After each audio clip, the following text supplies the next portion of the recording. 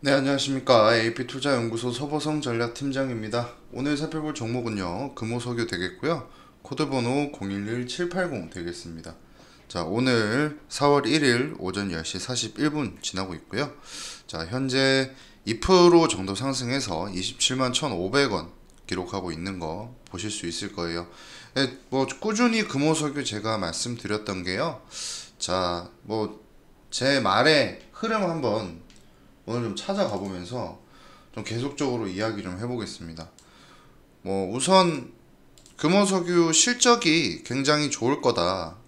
2020년도 earning surprise 나올 가능성이 굉장히 높다라고 이야기 나오면서 주가가 급격히 상승했는데 이때 상승이 나올 때는 사실 경영권 분쟁 그 점화가 있었어요. 그러면서 추가 상승 이후에 하락폭을 가져오는데 이때 증시가 안 좋았어요. 증시가 안 좋았었고 증시 악영향으로 인해서 주가가 빠지기 시작하죠. 그리고 그 경영권 분쟁 자체가 어 좀 뭐랄까요? 이게 배당한 이야기가 나오면서 뭐 이런저런 악재들 이야기가 나왔었는데 사실 경영권 분쟁을 하면 기본적으로 상승하는 게 원칙이거든요. 근데 이게 그 두 파가 갈라져 가지고 한 명은 배당금 축소, 한 명은 배당금 상승. 아뭐 축소라기보단 기존 유지.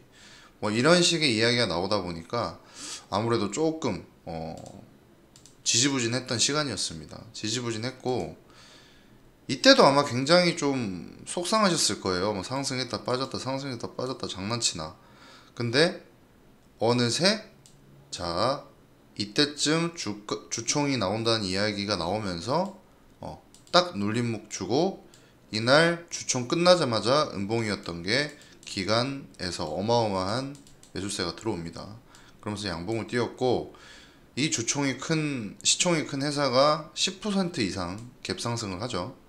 그러면서 오늘까지도 상승을 이어나가는데 어 만약 경영권 분쟁이 없었다면요 금호석유는 아마 지금 30만 원 이상대에 있을 겁니다.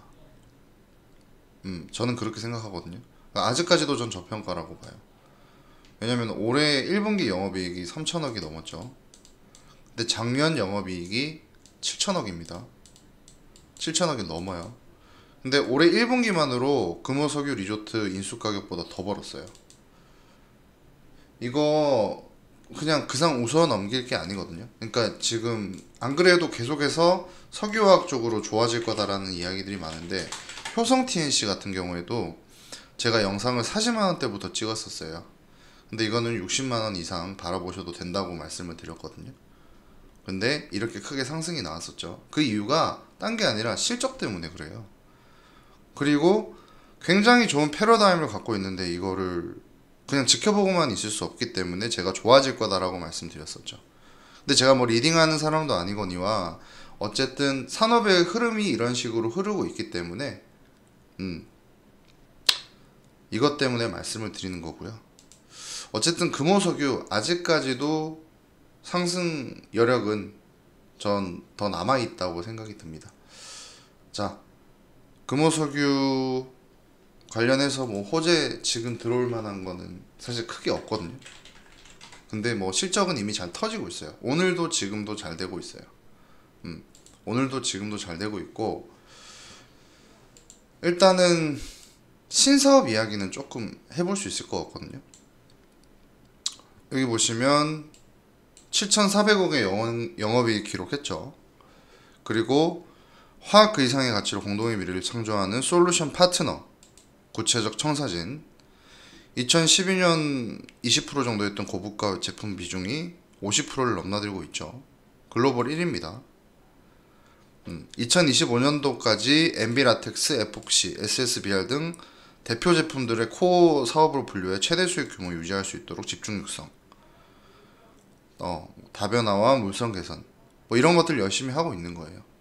여기 보시면 최소 연 7에서 8% 성장률, 이거는 거의 IT 기업이거든요. 이 정도면.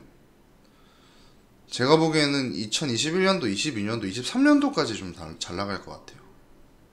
어. 어쨌든 저는 금호석유 화학의 좋은 청사진을 그리고 싶고요. 앞으로 꾸준히 좀 살펴보는 종목 되도록 하겠습니다. 어, 영상 처음 보시는 분들은 댓글로 이런저런 질문해 주셔도 되고요. 어, 뭐 처음 보시는 분들 아니라도 좀 소통 좀 했으면 좋겠어요. 댓글 좀 많이 남겨주시고 앞으로 꾸준히 살펴보는 종목들 될 테니까요. 어, 오늘 영상은 여기까지 마치도록 하겠습니다.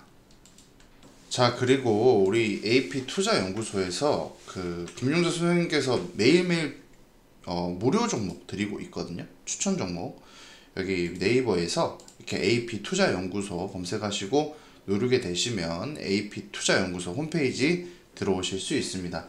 여기 반짝반짝거리는 밑에 무료 추천 종목 2021년 무료 추천 종목 한번 눌러볼게요. 눌러보시면 이렇게 일자별로 쭉 나와 있죠. 3월 22일 월요일 무료 추천 종목 눌러보시면요.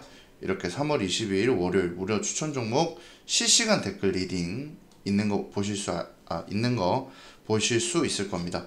여기 보시면 자 오늘 아침 일찍이 출근하십니다. 김용재 소장님.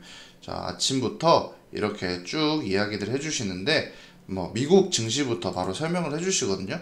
다우 나스닥 그리고 다우 이런 식으로 좀 하락을 했죠. 뭐 어, 이런 식으로 지금 최근 모습들 최근에 어떻게 지표가 나와 있는지 혼조세로 마감한 거 이렇게 알려주시고 있고요.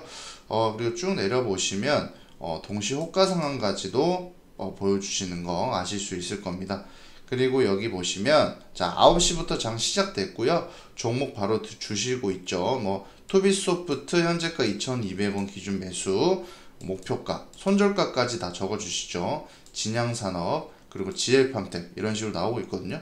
자 일장 목표가 돌파 추가 상승 중입니다. 라고 차트까지 이렇게 적어 주시고 목표가 달성 목표가 달성 이후 추가 상승 중 어, 9시 1분에 추천드렸던 종목입니다. 라고까지 말씀을 드리죠. 2200원 제시해 드렸고 추천 매수가 대비, 대비 12%나 상승한 거 아실 수 있을 거예요.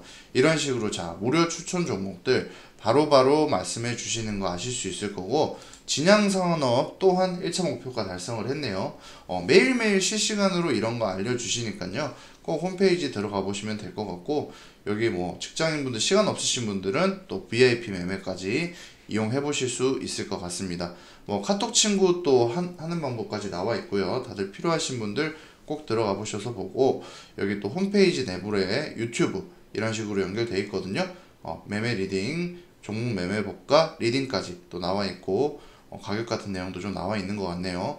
어, 꼭 들어와 보시고 이런 것들 한번 살펴보셔서 주식에 관해서 좀 도움 받으시면 좋을 것 같고요.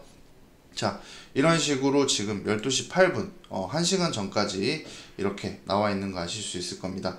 뭐, 앞으로 제가 뭐, 종목 영상들도 찍어 드리지만, 저희 이제 AP 투자 연구소, 그리고 김용재 소장님이 어, 진행하는 무료 추천 종목들도 한번 여유 되시면 꼭 받아보시면 좋겠습니다.